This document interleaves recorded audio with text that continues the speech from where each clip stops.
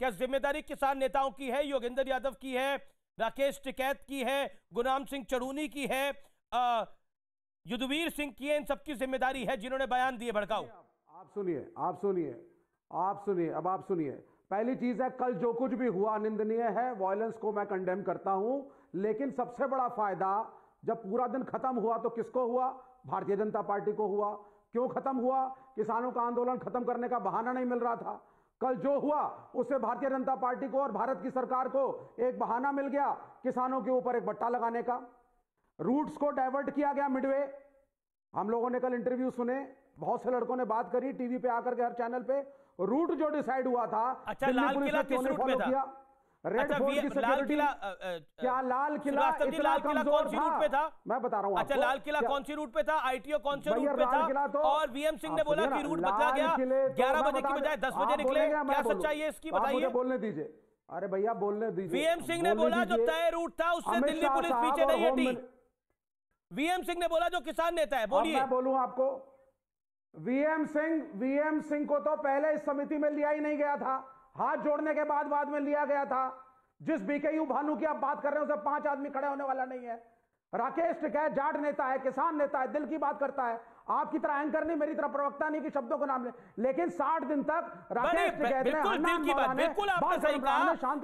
टिकैत किसान नेता है दिल की बात करते हैं उन्होंने दिल की बात करी कि बक्कल उतार दिए जाएँगे। बक्कल उतार दिए गए। आपने खुद माना वो दिल की बात करते हैं जी। राकेश टिकैत ने कंट्रोल करके रखा। कंट्रोल करके रखा। पुलिस ने कंट्रोल करके रखा। दिल्ली पुलिस ने जानबूझ के प्रवोक किया कल कहाँ थे राकेश टिकैत कल सभी लाल किले में चढ़ गए थे हज़ार लोग कहाँ थे राकेश टिकैत कहाँ थे ये राकेश जो कह रहे बक्कल उतार के जाएँगे। अरेस्ट होंगे ये लोग गिरफ़्तार होंगे ये लोग। खुद फैसिलिटेट करवाया दिल्ली पुलिस ने। हाँ खुद ही कराया दिल्ली पुलिस ने। अपने जवानों को बिठवाया अपने जवानों को कटवाया। स्वागत करते हैं कुछ करा दिल्ली पुलिस किले पे आओ और तिरंगे के साथ करो। ये हमें शाह की अपनी साजिश है। Don't insult Delhi police. की साजिश है। फोर्सेस को इंसल्ट मत करो ये बात करके। MS Bitta come in MS Bitta come in police सम्मिलित ना हो। MS Bitta respond you made your point sir Bitta साहब पुलिस सम्मिलित ना हो बिट्टा साहब विवेक श्रीवास्तव की बात का जवाब। मैंने देवगन जी आपको पहले भी कहा आज तिरंगे झंडे के अपमान का सवाल है। जहाँ तक दीप सिद्धू की बात कर रहे हैं या एक और है उसका नाम मैं भूल गया हूँ उसकी बात कर रहे हैं जो पंजाब के अंदर पिछले चार साल से खालिस्तान के फेसबुक पे खालिस्तान की फेसबुक चला रहे पंजाब में हज़ारों बेगुनाह के जो कतरे आम हो रहे उनकी फेसबुक चला रहे। कैसे पहुँचे दिल्ली में वो? और पन्नू का प्रचार करते हैं। पन्नू ने क्या कहा था? तिरंगे झंडे का अपमान करने के लिए बोला था। क्यों उनको पहले गिरफ़्तार नहीं किया गया पंजाब के अंदर? क्यों यहाँ तक आए वो? क्यों यहाँ तक तिरंगे झंडे का अपमान हुआ? मैं फिर कहूँ, सारे प्रवक्ता को हाथ जोड़ के, हाथ जोड़ के मेरी निवेदन, आज हम राजनीतिक डिस्कशन ना करें। यह भारत माता का तिरंगे झंडे का अपमान हुआ है जब तक हमारे पास सबूत ना आ जाए। किसी को गाली गलोच ना करे किसी को बुरा भला ना कहे किसी को ये ना कहे ये फलाने के साथ था। ये मुझे पूछिए पंजाब के अंदर खालिस्तान की मूवमेंट के खिलाफ हम लड़े हैं वहाँ पे। बिल्कुल। हमने वहाँ कुर्बानी दी और भी पॉलिटिकल पार्टियों ने दी। और भी नहीं और भी खाए मैंने अकेले नहीं। इनकी सीपीआई सीपीएम ने भी खाए हैं। सबने खाए हैं पंजाब के अंदर बम गोलियाँ। खालिस्तान की मूवमेंट क्या होती पता है? मैं बार बार कह रहा हूँ, इस चैनल सब चैनलों के अंदर, अरे इसका जिम्मेदार कौन होगा? लाना बहुत आसान है दिल्ली के अंदर। अरे ये बैरिकेड तो उन्होंने अंबाला में तोड़ दिए थे। आज से एक महीना पहले बैरिकेड तोड़ के नदी नदी में फेंक दिए थे। उस वक्त कहाँ थे भाई? उस वक्त कहाँ थे आंदोलनकारी? उसके बाद अगले दरिया में फेंके। उस वक्त कहाँ थे? ज़िम्मेदारी किसकी थी? किसकी ज़िम्मेदारी थी? हर चीज़ पुलिस की हर चीज़ सरकार की। क्या मैं अगर कोई काम करता हूँ आप कोई काम करते हैं हमारी ज़िम्मेदारी हमारी ज़िम्मेदारी कम्युनिस्ट था जो मारा गया पंजाब में। फिर कम्युनिस्टों की लाशों का ढेर लगाया गया। मारा गया यार मैं तारीफ़ कर रहा हूँ ना। आज की बात कर मैं तारीफ़ अरे मैं तारीफ़ कर रहा हूँ ना? अरे मैं मैंने तो शुरुआत की। सरकार अरे मैं मैंने शुरुआत की। दीप सिंधु को लेकर के आए और तिरंगे झंडे का और श्रीवास्तव और श्रीवास्तव और तिरंगे झंडे पे तकलीफ़ हो गई। मैंने क्या अमित किया? शाह क्या कहा दिल्ली पुलिस ने देखिए ये ये ये अननेसेसरी की okay Sambit Patra get in Patra Patra Patra. Amish Amish भाई ये किस अमीश भाई यहाँ पर ये सीपीआईएम वाले कह रहे हैं कि अमित शाह जी ने दिल्ली पुलिस ने ये करवाया। ये कब ये क्या लॉजिक है? ये क्या आर्ग्यूमेंट है? मैं तो आपसे पूछ रहा हूँ ये क्या आर्ग्यूमेंट है? ये पंद्रह हज़ार ट्रैक्टर हमने अमित शाह जी ने भिजवाए। ये भारतीय जनता पार्टी ने हायर करके भिजवाए थे।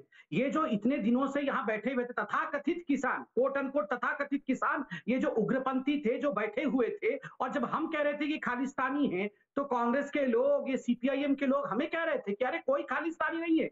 ये तो एनआईए तुम्हारी बिकी हुई है जो इनको खालिस्तानी बोल रहे हो।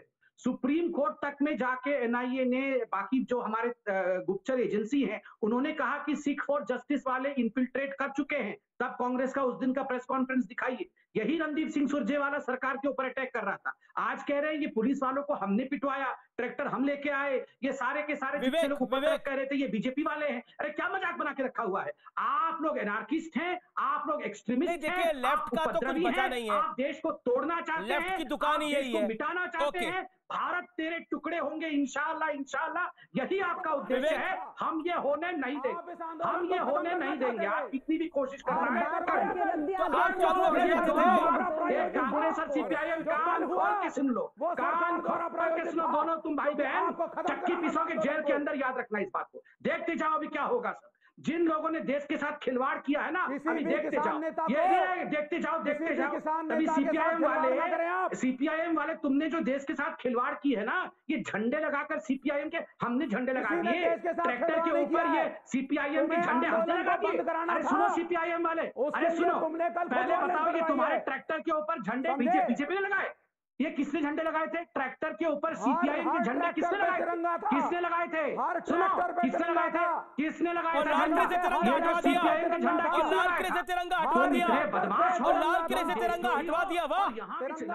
दो लॉजिक इतनी मतलब कुल मिलाकर पहले जब ये आंदोलन चल रहा था तो देखिए इतना बड़ा आंदोलन है ये आंदोलन हर किसान है। फिर आंदोलन में जब आप परमिशन मांगने के लिए गए तो फिर परमिशन मांगी बोला ये किसान है ये ट्रैक्टर रैली निकालना चाहते हैं, ट्रैक्टर मार्च निकालना चाहते हैं, छब्बीस जनवरी के दिन ही निकालना चाहते हैं। जब वो रैली निकालने की भी इजाज़त मिल गई, रूट डिफाइन हो गया। अब कह रहे हैं कि देखिए, रूट डिफाइन हो गया, किसान जो है, जो तथाकथित किसान, या फिर लोग, ये लोग जो मवाली थे, ये पहुँच गए लाल किला, ये लाल किला दिल्ली पुलिस ने पहुँचा दिया। दिल्ली पुलिस वहाँ अपनी जान बचा रही थी। अब फोर्सेस को साथ देखिए, कितनी कितनी विघनता इन लोगों ने करी है। कमाल की बात है।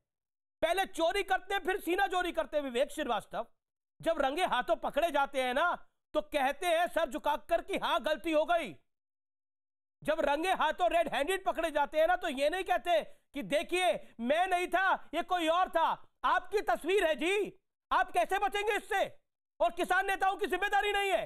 जो किसान नेता, वह एग्रीमेंट पे साइन करके आए कि 40 किसान नेता की आइए, आप ट्रैक्टर परेड को 26 जनवरी की इजाज़त दीजिए, उनकी कोई ज़िम्मेदारी नहीं है।